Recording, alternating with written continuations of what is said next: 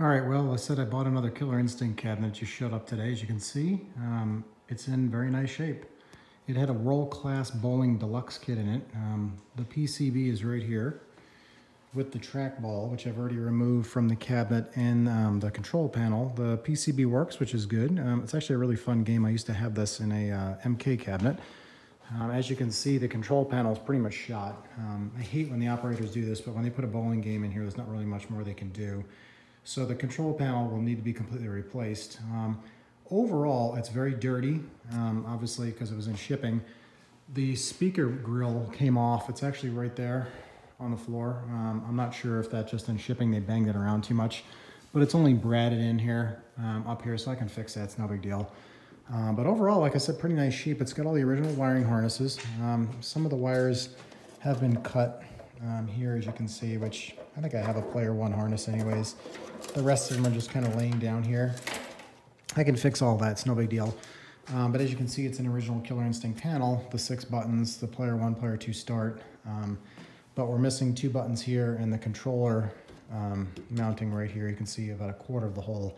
So this will need to be replaced, unfortunately. Um, I can tell that it has the metal plate, which really sucks because I like those, um, but XL Arcade sells those. Here's the other side. There's a little bit of a glare um, coming in from the garage window here. I'll try to get rid of that by standing in front of it, but um, you can see the side art on this side is very, very nice. Tiny, tiny bit of sun fade. Kind of, um, you can see on Spinal's um, shield there, and a little bit on the Killer Instinct on the bottom, the blue. But I mean, overall, really nice cabinets in really nice shape. Um, I don't see any real terrible damage. Um, there's a little bit of this going on in the corner. This is typical of all these games now. Um, so I can fix this in the T-molding, which obviously will be replaced. Um, kind of like the one I did here uh, with the water damage. Um, I'll go ahead and kind of wood putty that up, um, wood glue it and kind of fix it up. It's missing the serial number decal here. That's no problem, I can reprint that. Inside of the cabinet looks to be all original, um, original wire harnesses. This is that, um, I can't think of what the name of these things are, but they put those on there for the hard drives to kind of protect them from the EM. I think it's an EM filter or something like that. Looks to be an original power supply. Um, your monitor pot board, which comes off of the chassis. Um, looks to be original Wells Gardner. Um, there's a manual book in there. I haven't looked in there um, yet, but seems to be pretty full, so that's kind of cool. Original I don't know what's going on. This obviously is an original. As you can see, this doesn't match up. So um, this would have a different Molex connector on it um, going up to the monitor. So maybe this monitor is not original. Uh, regardless, it's a 25 inch monitor, which are impossible to find now. So I'll bring it to my guy, have him fix it. Um, isolation transformer looks good. It's just kind of dusty and dirty in here. There's always some goodies left in here that um, the operators kind of leave in here, but all original wiring harnesses, which is important uh, to me at least, because it makes it my job easier to restore these. Um, and then this side over here, just really nice. I'm pretty happy with it. So I haven't really decided which one I'm going to keep and which one I'm going to sell. I mean, that one over there, I know that one works. That's got a 27 inch monitor in it. Um, that one looks really good. You can see the MK3 bezel card kind of hanging off there. That's why it's over there. I'm waiting for the bezel for that game there. Um, but if you look at them sort of next to each other, they look pretty damn good.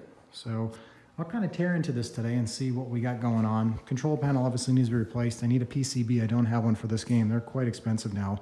Sometimes they go for like 600 bucks. I, don't know why people pay that much, but if you wait, you can get it between three and $400. Um, but just very dirty. The glass needs to come off, obviously. Um, I'll test the monitor, and see what's going on, and we'll go from there. But um, it also has this hockey puck lock which I've never gotten off before. Um, I can see there's a bolt down here um, that goes through the security door there for the coin box, um, but I'm not really sure how I'm gonna get that off. I've never really dealt with these. The drill, if I was to drill it, is on the bottom too, so I'll have to put this thing on its back and just kind of figure out what I'm gonna do. Front panel here, um, I'm hoping this is gonna strip nice. I can see kind of a little bit of blue right there coming through. So I'll do my citrus strip on that and just kind of take it easy and see how that comes, but there's no damage. It looks pretty nicely done. You can see a little run in the paint here. Um, usually this comes off pretty good. Somebody drilled a bolt through the um, coin slot. I'm not really sure. I've never seen that before. Um, it has a dollar bill acceptor, but it's kind of hanging here. not really sure what happened there, but I'll figure out what's going on with that. Um, Everything else seems intact. You know, the menu test, credit, volume up and down is all here. All original wire harness. Um, but you can see it's kind of a rat's nest in here. But that's not a problem. I can usually fix that, no problem. Um, I can see in there a cash box down there. And I don't think I can get my hand through there. Let's try it to see if I can get that bolt off. Uh, I don't think so. I'll have to see if I can do that. But all overall, not bad. Let's close this down so I can give you the whole perspective of the game.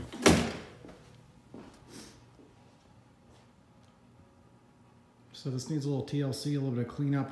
Um, obviously needs some repairs, new buttons, joysticks, control panel. Um, but overall, looks pretty good. And I have a working world-class bowling deluxe PCB and working trackball and harness and marquee.